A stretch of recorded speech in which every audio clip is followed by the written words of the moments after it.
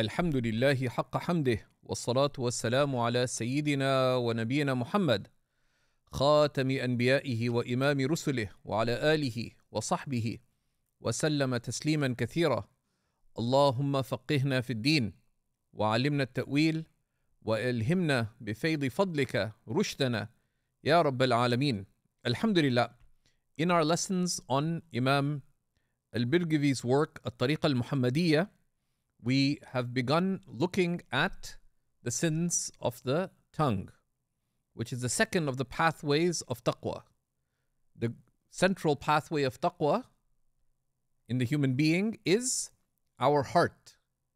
The second is the tongue. And as we saw in the first two lessons when we looked at the importance of restraining one's tongue, we saw that faith is dependent on being true. And being true, sidq, is dependent upon being truthful in speech. So, speech is related to both having a state pleasing to Allah, which can be summarized in sidq, and in faith itself, which is the key of salvation and eternal rank with Allah subhanahu wa ta'ala. and we explored that and its related meanings in the first two lessons. So today, bidnillahi ta'ala, we move on to the next section, which is on afatul lisan, right? The the harmful traits of speech and Imam al Birgivi tells us that these are 60.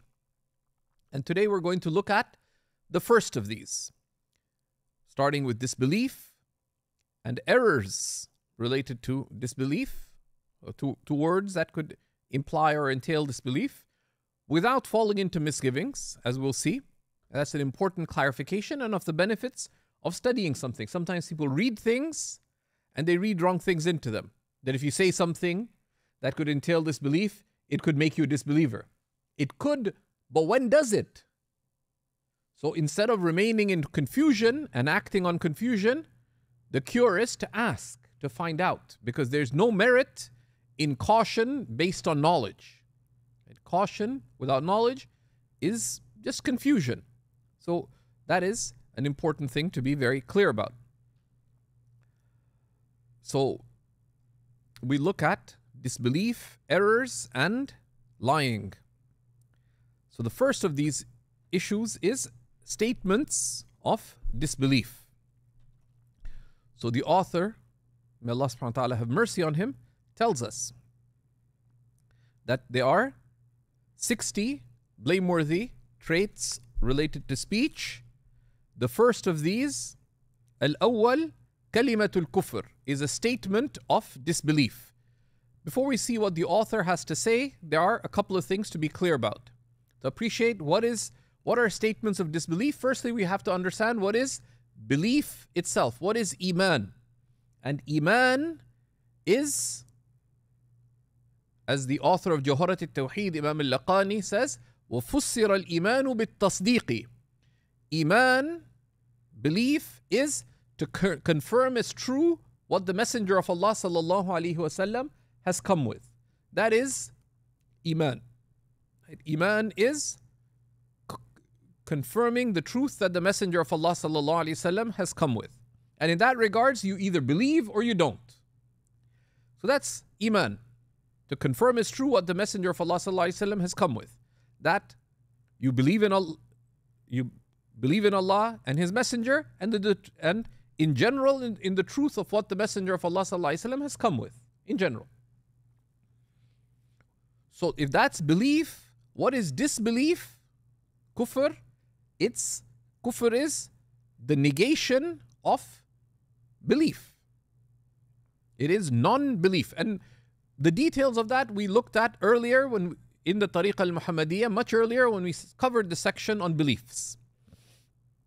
In that section, we looked at what we can call al-haddul fasil, the parameter, the differentiating parameter between iman and kufr. So disbelief is denying Allah or denying the Messenger وسلم, or denying things that are necessarily known to be of the religion. The simple test of it is, you know, so that you don't get doubts, is if the person who thinks, maybe I committed kufr, just a simple question. Do you believe? Yes. And it goes back to one question. Do you believe in the truth of the Messenger وسلم, came with? I say, well, I do, but no, there's no but. You either believe or you don't. And the believer believes. Doubts about whether you believe are confusion. So you don't entertain confusion, but you get out of it through clarity. If someone steps on something brown and sticky, you don't just remain standing there wondering, is that dog feces? You step away and get rid of the, the problem. Do you have to actually smell it and taste it? Of course not. You just move on, right? Because you don't remain mired in the problem, just get out of it. So that's an important point. And um,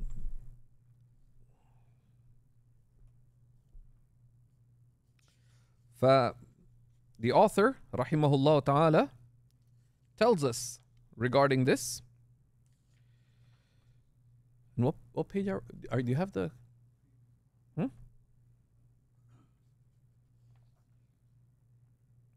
Okay. So he says, rahimahullah ta'ala, الأول كلمة الكفر. The first is a statement of disbelief, and he says, وَالْعِيَاذُ بِاللَّهِ تَعَالَى And we seek refuge in Allah, mighty and majestic. And this is from the norms of the believer. That anytime something evil is mentioned, we seek refuge in Allah subhanahu wa ta'ala from it. billah, we, our refuge is in Allah Most High. So he tells us, right? So he tells us regarding statements of disbelief. And here we also have to be careful that some of what is mentioned is there's some things that are outright disbelief, and there's other things that would entail kufr. And there, sometimes the scholars say such and such thing is kufr. It does not mean that it is itself kufr, but it entails kufr. So you don't deem yourself a kafir like that. It may be sinful, as we will see. So if someone says, for example, well, I'm if that's the case, I'm a Christian. The ulama say you don't joke about your religion. But saying I'm a Christian, who is Christ? Sayyidina Isa. Is a Muslim a follower of Sayyidina Isa? Yes. Right? But so that is not in itself. Are you denying belief in Allah? No. Are you denying belief in the messenger? No. Are you denying the truth of what he's come with? No. You're not saying, I accept the Trinity and this and this. No. So those are words that entail disbelief. So the, the ulama, when they tell us that such and such thing is kufr because it would entail kufr. Because if you said, I'm a, some, if someone said, I'm a Christian, then if you actually meant it exactly, that would entail affirming the divinity of Christ, the affirmation of Trinity, the denial of the, the prophethood of the Prophet Muhammad, etc. And those matters would be itself kufr. So there's a differentiation between what the ulama mentioned as kufr and what makes somebody a kafir. So you can't auto fatwa yourself in that sense. And the shaitan, of course, likes joking, likes messing with people about that. So don't. Right? Don't accept the misgivings of shaitan. We take statements of kufr very seriously. Don't do it. Don't joke about your iman. It's the most precious thing that you have. Your faith, your faith, as has come. Right? It's the greatest thing that you have been gifted with. So you don't joke about it. Right? You wouldn't joke about what your parents do every day in the washroom. Why? Because not proper manners. Presumably, no one's parents don't go to the washroom at all. It's almost inconceivable. But when we don't talk about those things, obviously, unless there's some reason, you know, someone's parents need medical attention, you talk to the doctor about a matter or something, but that's an exception. So, similarly, about things like this. This is the, the utmost of gravity, so we take it very seriously. Now there is a definition then of yeah, so kufr is denial of the truth that the messenger of Allah sallallahu alaihi wasallam has come with either about Allah or his messenger or the, the teachings of our religion of the things that are necessarily known to be of the religion so he says rahimahullah ta'ala that وحكمه إن كان نوعا إن كانت طوعا من غير سبق لسان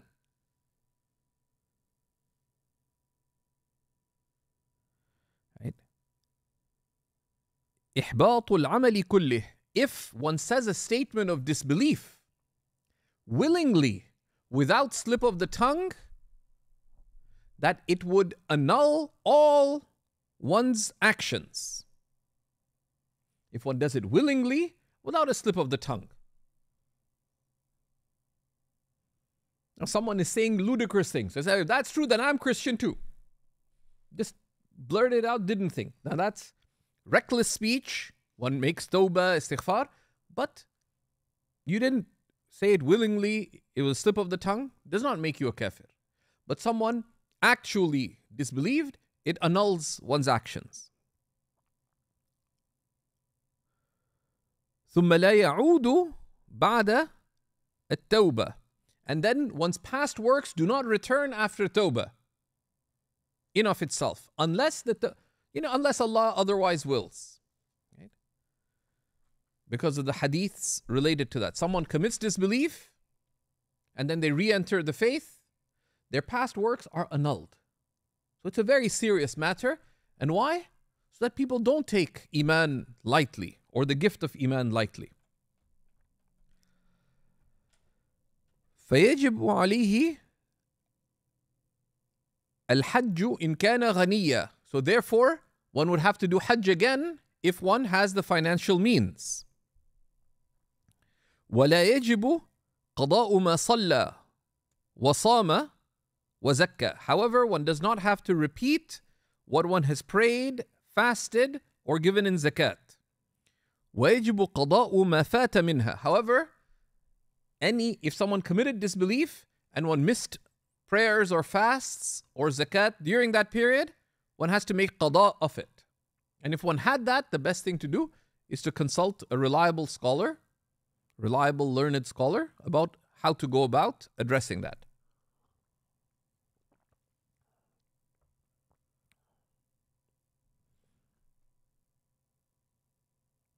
ولا معصية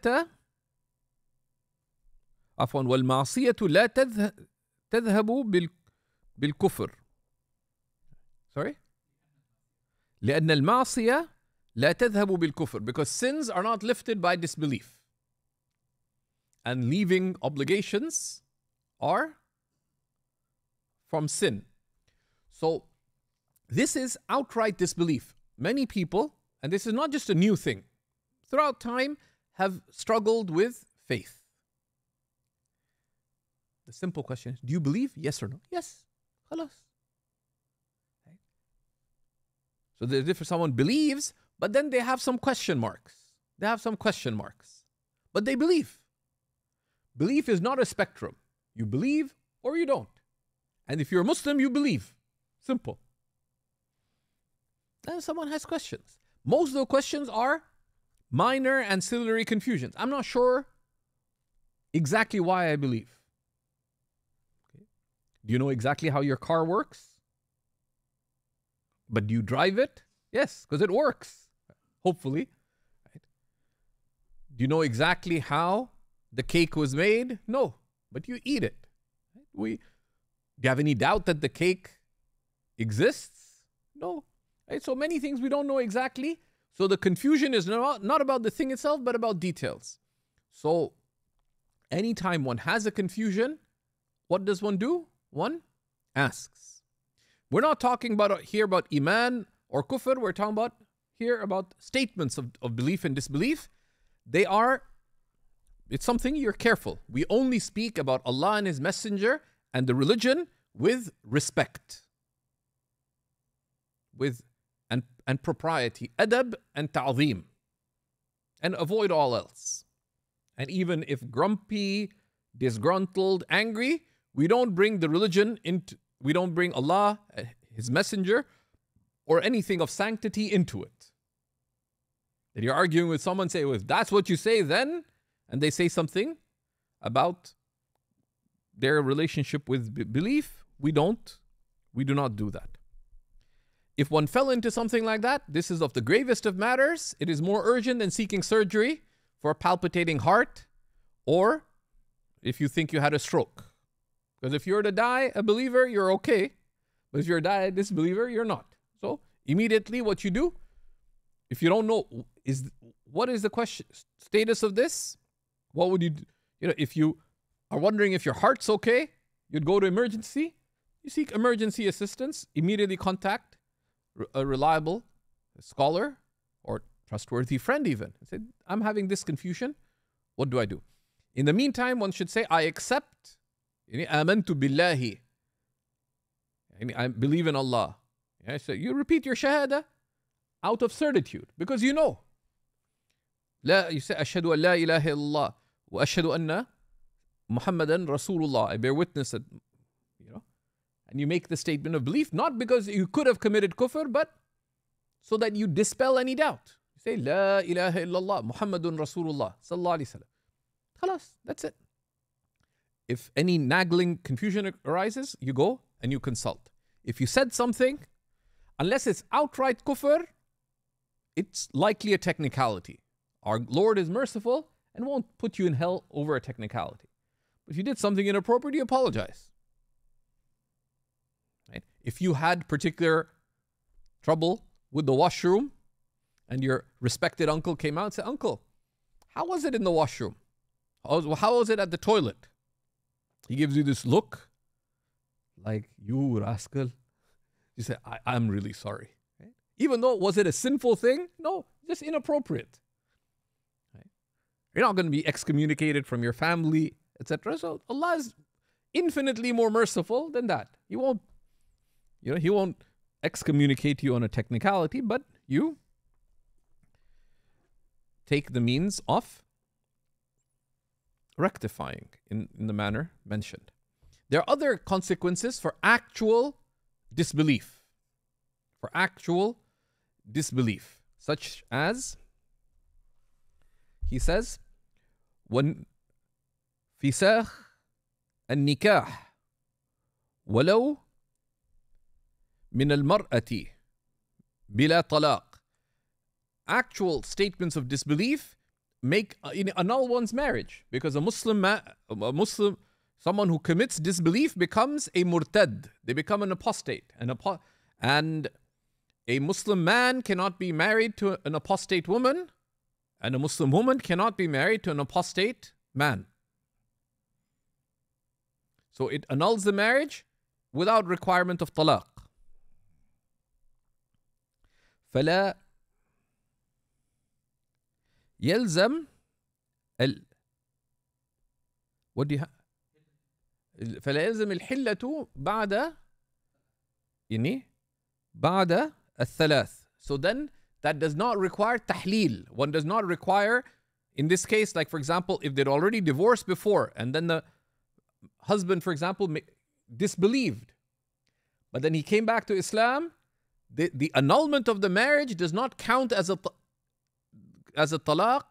So for them to remarry, she wouldn't have to marry another person first. Because there's a wisdom that, as we know, in the event of three talaqs, then the the couple cannot get, get back together until she marries somebody else. And the wisdom of that is that people don't take talaq lightly. Because it has grave consequences not only for the two of them, but for children and others. It's meant to be a deterrent against casual or hasty or angry pronouncements of divorce. But if but if someone does commit disbelief, uh, you know, does leave Islam, this is of the rulings. So then he says, rahimahullah ta'ala, فلو صدرت من المرأة تجبر على النكاح زجرا لها بعد التوبة ومن الرجل تخير المرأة إن تاب So now this used to be a fatwa, right? Because, and this does not necessarily apply in our times, that if the woman committed apostasy, she is forced to remarry, forced to remarry her husband. And this was because in some places, if it became a habit that women, if they got, they heard that in order to get out of marriage, all you have to do is declare you're not Muslim. So the fuqaha said, Auntie, you can't do that. You have to get back with uncle. For obvious reasons. And people do what they do, and this was a real problem. And there's some uh, corrupt ulama who did this. You know, wealthy ladies, and a lot of wealth of the world is in in the hands of aunties. You know, her husband died, she inherited the wealth, and so on. Uncle spent the money, she saved it. Anyways, so she wants to get out. Simple way. She heard, she commits apostasy just by words. Marriage is annulled. She's out of the marriage, and then she, I'm Muslim. So I said, no, you got to get back. But now that's a fatwa issue. And that's a fatwa issue. Right? If it's just made a statement of kufr, the fuqaha would say in court that would be considered that, you know, uh, it's like a claim that's against reality. But the man, since he can he can pronounce divorce, if he does it, then he is not forced to return to the marriage, but the woman has the choice. She doesn't have to remarry the husband. So Zubayr and Zubaydah were married. Zubayr committed kufr. billah. He became Christian for six months. Marriage got annulled right at the beginning. Now, six months later, he says, I'm Muslim. Zubaydah, you got to get back with me. It's up to Zubaydah if she wants to remarry Zubayr or not. She, she has the choice if he repents. What's the repentance from kufr? What's the repentance from kufr? It is to enter back into Islam. So that's the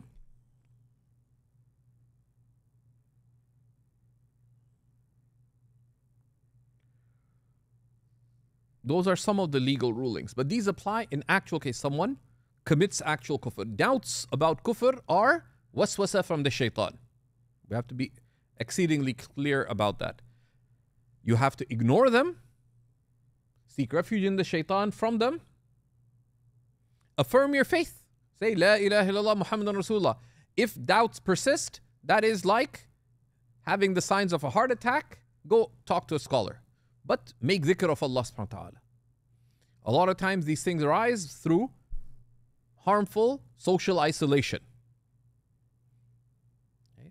through weakening of religious practice, through engaging in sinful activities, etc. So that it creates a spiritual um, um, dissonance that is expressed in things like this. So sometimes you have to realize that, you know, I shouldn't be doing that. I shouldn't be doing foolish things. Um, so then he says, Rahimahullah Ta'ala,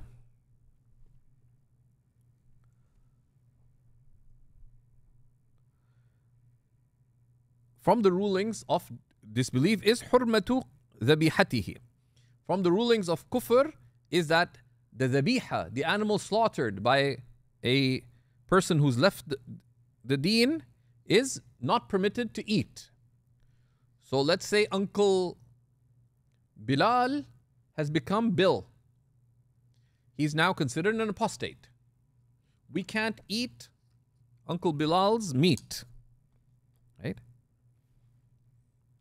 وحل قتله right and that uh, it becomes you know, by court order that they could be liable to the punishment related to an apostate والإجبار على التوبة and that they can be forced by the qadi to repent because sometimes people do foolish things one of the simple ways to avoid public confusion is they say look uncle jamil you have to repent right? You're causing a lot of commotion. It's a very practical thing that you know Uncle Jamil thought, you know, it would be cool if I became Christian.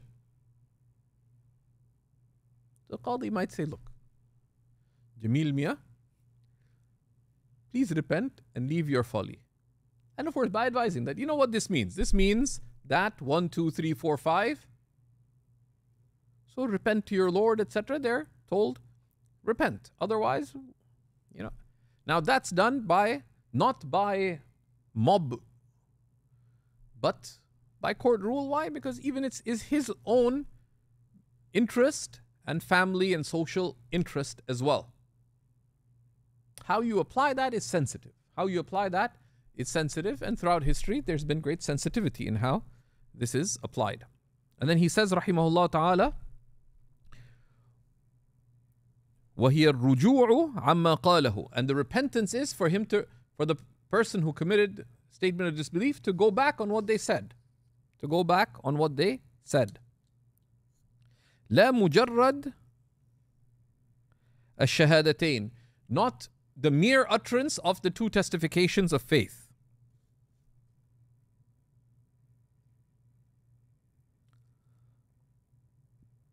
والجحود توبه and rejection is repentance. Rejecting false beliefs is is توبة. وإن لم يتب يجب قتله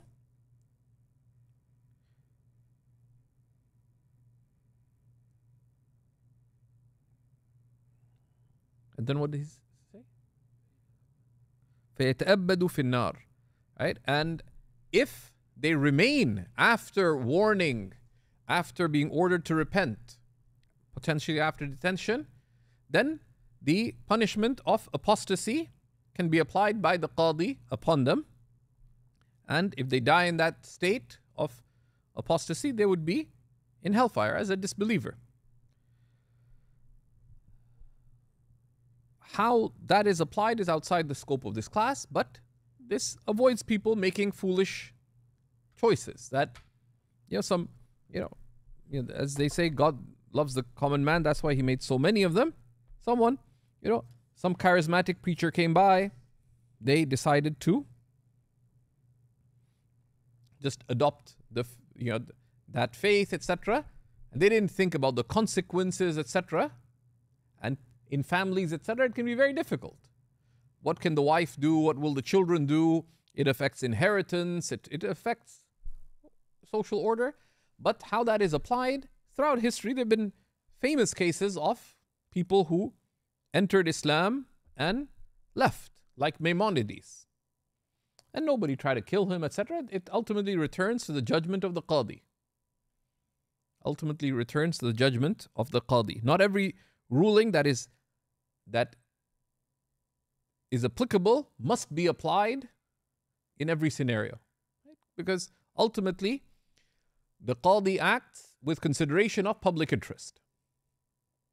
And sometimes something may be true, that this ruling should apply, but in applying it, consequences must be considered. Right? Because the consequent harm may be far greater than just letting things slide. Okay. Then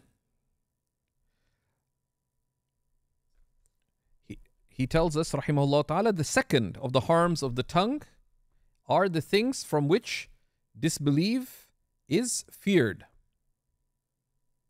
Right? Is things from which disbelief is feared.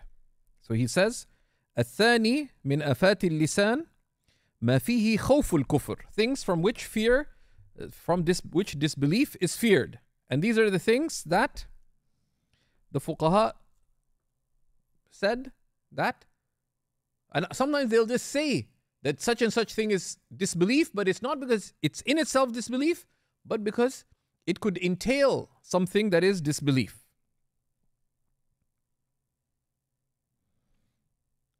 وحكمه أن يؤمر بالتوبة وتجديد النكاح احتياطا right? and things from which disbelief is feared that they're commanded to make tawbah and to renew their marriage out of caution now here there's a very simple distinction that the fear of disbelief we have to understand that fear itself has two types shar'an If we just use a simple example.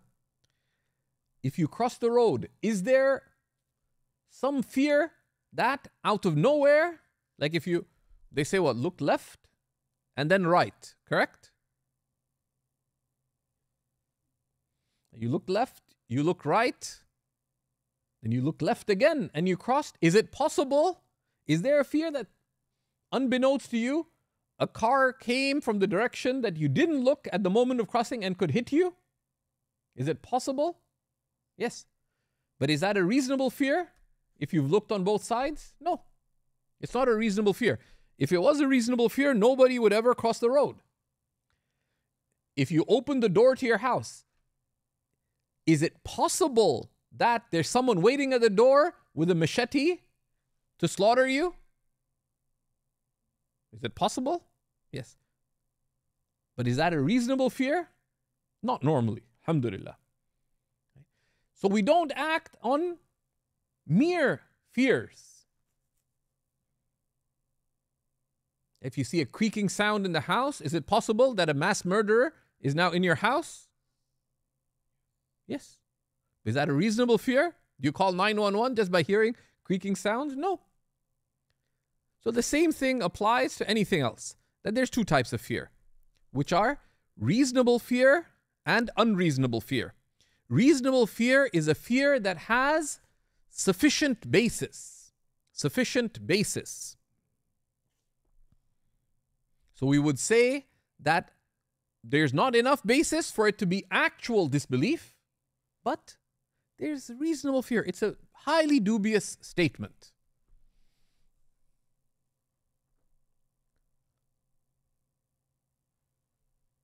So that's where you make both tawbah and you would renew your, your marriage out of caution. It doesn't count as talaq, out of caution. If, let's say, Uncle Jamil heard, Uncle Jamil's not been working. Auntie Jamila, his wife, said, John, are we doing well financially? He says, Yes.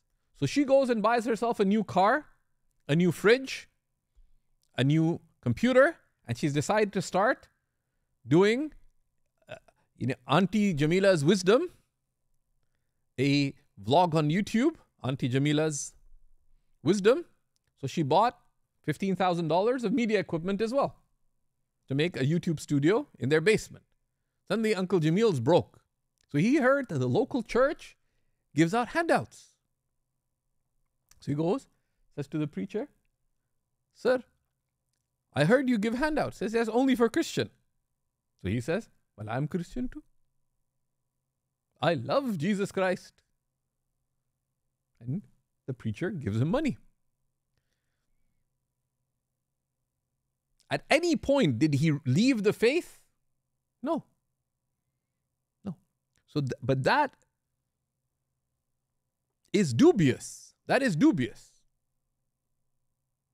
So, caution. If he asks, caution is called upon. But that should be done with consultation. That should be done with consultation. You don't self diagnose this kind of dubious matter. Some of it will be said, no, that, that was foolish. Uncle Jamil, that was foolish. Because Uncle Jamil might just, you know, like, that's why you can't give yourself a fatwa in these kinds of situations. Uncle Jamil might be, you know what? Maybe I was kafir. That way I'm get rid of this this spendthrift woman. right? Or whatever. So no. So those things, those are surgery situations. You have to go to a scholar. That a, a scholar may say, Uncle J- Jamil, if so the persons of religious maturity, etc., say, look, just renew the nikah. Privately, not publicly. Right? And sometimes the fuqaha mention their books different situations where you renew the nikah. That is that is caution that is circumstantial. And any caution is recommended, number one. Number two, only when has positive outcomes. What is required is to repent. We are not lax about statements of disbelief. Right? So, in a situation like this, what is absolutely required is that they repent. Right? If you say things that are genuinely there's genuinely reasonable fear of disbelief, right? And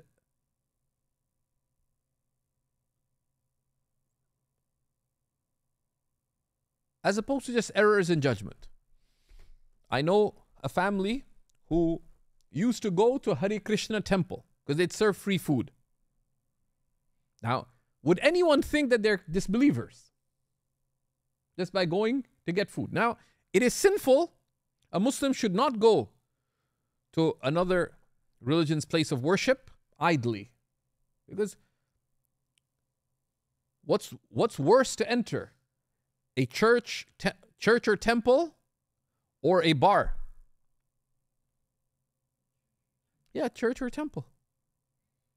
Because what's worse to go to a, a nightclub or to go to a temple? Same thing. Because the sin of disbelief, the sin of polytheism, is far worse than the outward sins. Now, we deal with people with respect. We deal, if, you know, if a prostitute comes out, we don't disrespect anybody. We, we hate wrongdoing and sin, not the wrongdoer or the sinner. It's nothing personal. We don't disrespect even any person like that, right? And they're all God's creation. But so someone just went to a temple, that is a sin. But if they said certain things, yes, we are Hare Krishna too. Astaghfirullah. Say you have to repent from that. Now, if they did more than that, they should go consult a scholar, right? Because, um, and but merely, you know, but so don't self-diagnose possibilities of kufr, right? Because a lot of people say, oh well, I watched a, a documentary about cathedrals and I thought, oh, they're so majestic and stuff. Oh, you know, no. Did at any time you stop believing in the truth of the prophetic guidance? No. Were you, ad- you know, if you have any confusion, the only cure for confusion is to ask as the Prophet ﷺ said. Okay. Then he says, الثالث الخطأ errors with respect to disbelief. وحكمه أن يؤمر بالتوبة والاستغفار فقط. And the ruling of errors that can entail disbelief is that the person is told to repent and seek forgiveness. And that's it. Such as they said something casually that was incorrect.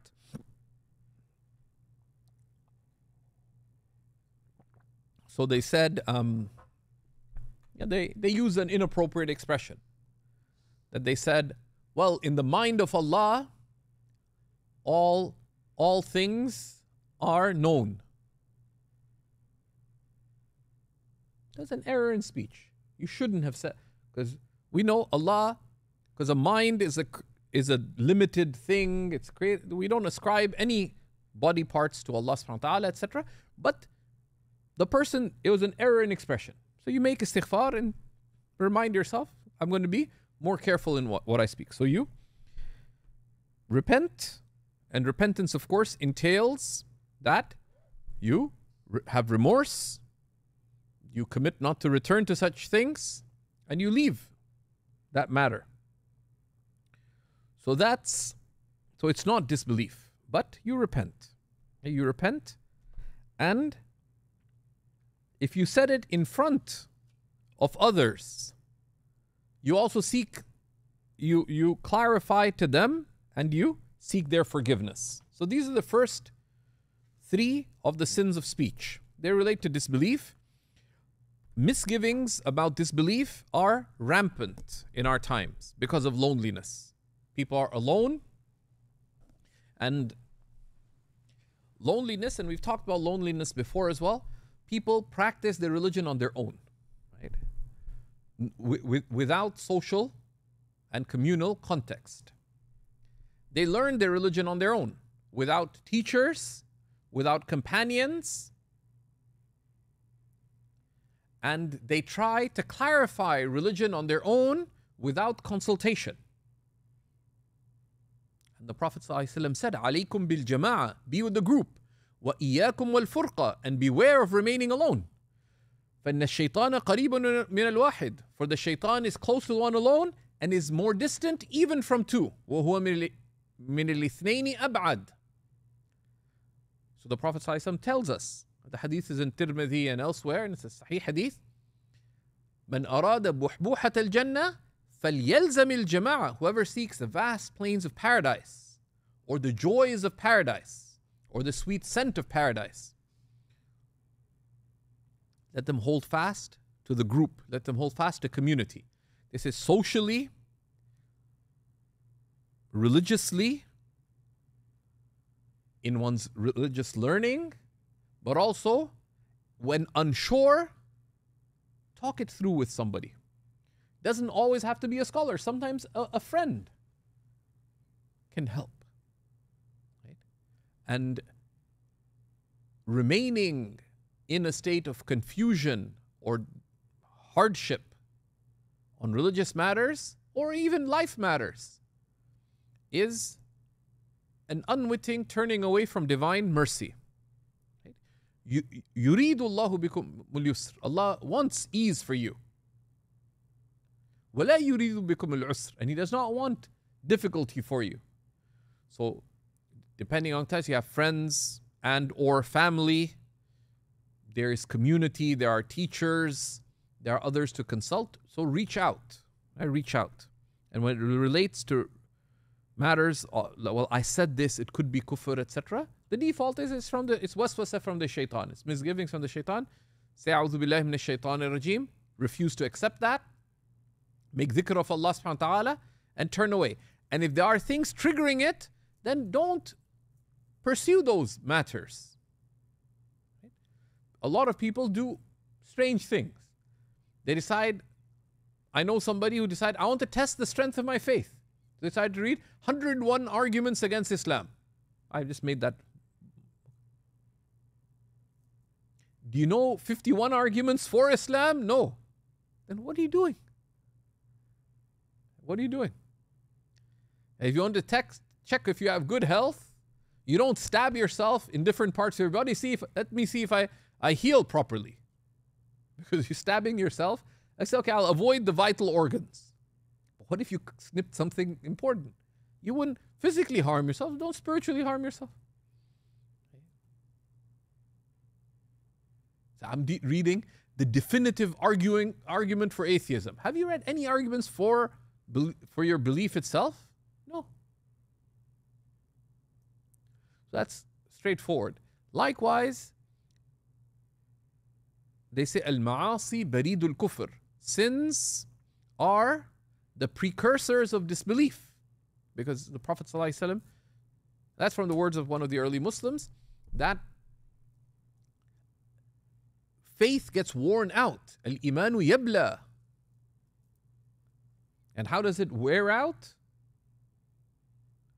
By the weakness of one's religious practice, either in quantitatively or qualitatively. You're still you you're going through the motions, but you're neglecting either the outward sunnahs of those actions or you're neglecting sincerity.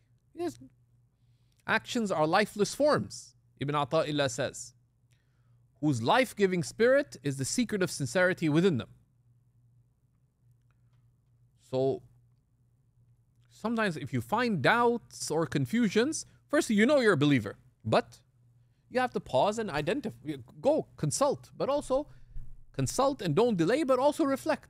That what is it that's causing it? And what the ulama tell us and what two decades of experience show that Allah does not is the divine promise in the Quran that Allah does not change the state of a people until they change what is within themselves. What was going right before and why are things going wrong now?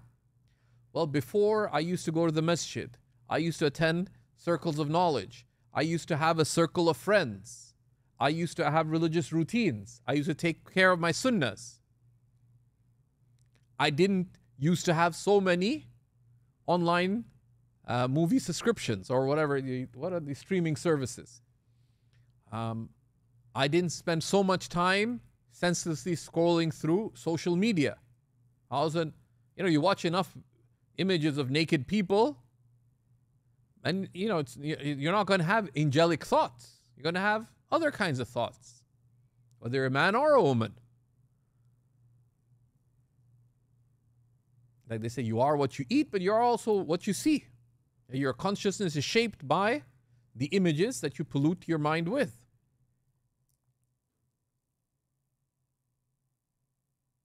So that's where one needs some life editing.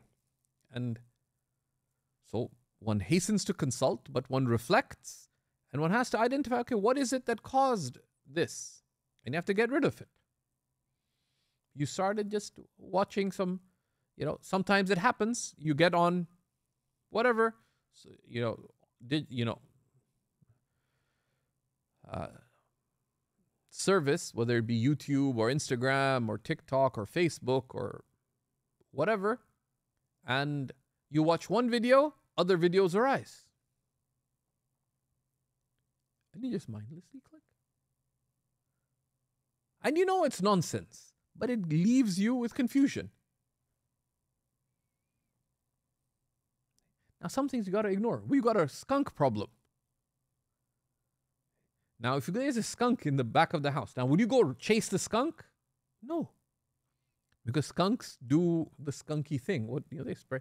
So we had a little skunk spray in the backyard last night because the dryer turned on and got a, bit, a whiff of bad smell, but not too bad. It was, it was nice, but everything was closed. You'll run after the skunk, and you'll be stinking for the rest of the week. Right? So similarly, but you can just safely ignore it. Don't open the door.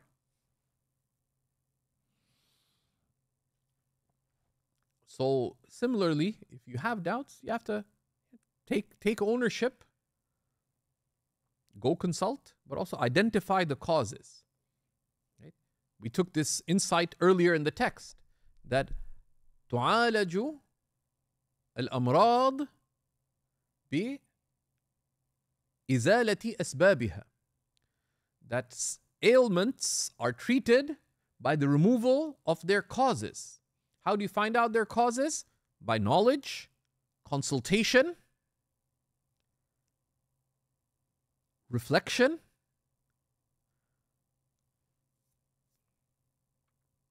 and leaving the things that lead that obviously to it, even indirectly even indirectly. One of my friends, for example, well, acquaintance. He was, he became professor at a university overseas. Handsome man, this and that, and became professor at a young age and looked younger than his age too. And he was having issues with all these young ladies were proposing to him and all kinds of crazy things, and he was fearing about maintaining his fidelity in marriage. So he went to a scholar and he said, Are you going to lose your job if you're scruffy? He said, No. So the sheikh said, Very easy solution. Said, Don't, don't, said, take care of your appearance outside the lecture hall. But when you give your lecture, don't brush. Don't, you know, said, don't comb your hair right? Wear scruffy clothes. Dress up nicely elsewhere. Dress up nicely in the masjid. Dress up nicely when you go for dinner with your friends. But be scruffy there. And don't be nice to anybody. And they'll all keep away from you. He did it, but he still struggled. So the, the sheikh told him that look, what matters more to you? Your marriage or your job? He said, My marriage. Then look for another job. And he, alhamdulillah, he's a humble guy. He took a research position, stopped lecturing for a little while till he could address his, his faith. Similarly, there are situations where one may be in a line of academic study or research or other areas where what you're studying is challenging your faith. Sometimes it doesn't mean that you give up, but sometimes you, one should have the courage to step away. One should have the courage to step away. You realize you decide you like philosophy, you've not studied any is- Islamic theology. You haven't studied Islamic metaphysics. You haven't you don't know our notion of reality. So what do you do? You may need to step away to equip yourself to engage in this area, equipped. If you find yourself, if you wake up in the middle of the battlefield, do you join the battle? No, you got to go look for a weapon first. Otherwise, they're to kill you. Simple. You, you decide to go camping. You didn't he- see the signs that there's a war between the Banu Bilal and Banu Jamil, two families. So you went to sleep. You woke up in the middle of battle. Say, oh, I hate Banu Bilal. I'm with Banu Jamil. Yeah, that's nice, but go get a weapon. Right? And what's the weapon? It's, it's knowledge. Knowledge and strength of faith. So many things require that. That if we find ourselves in a situation of harm, you got to get out of the situation of harm for the sake of Allah subhanahu wa ta'ala. So we'll continue from there. The next two lessons we'll be looking at a very critical day to day challenge, which is lying and the harms of lying and the gravest of lying, which is falsehood and false testimony, lying against Allah and His Messenger, careless transmission of hadith. Also, to look at what is mis- what is to give a misimpression. And there's a number of blameworthy traits of speech related to lying. So the first three blameworthy traits of speech related to or sinful types of speech relate to disbelief.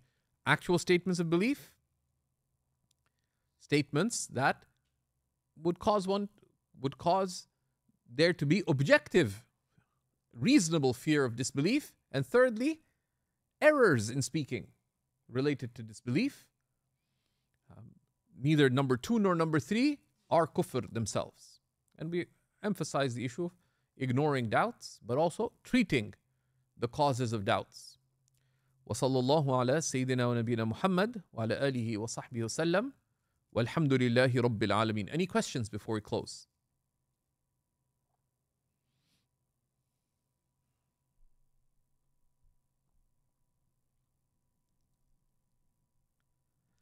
We have, of course, on the SeekersGuidance and Service, many resources about doubts and misgivings in general. We have a reader on it, etc. For those who sometimes have an active mind and have questions about their about belief and why I believe, etc. Alhamdulillah, we have many courses on Seekers, both full structured courses, but also on-demand courses on what we believe, why we believe, uh, why belief in Allah, etc. Those are things to always connect and reconnect with. Bidnillahi ta'ala. And beware of being alone in these kinds of situations as well. And don't hesitate to be of those who consult, because consultation is strength, it's not weakness. Walhamdulillahi Rabbil Alameen.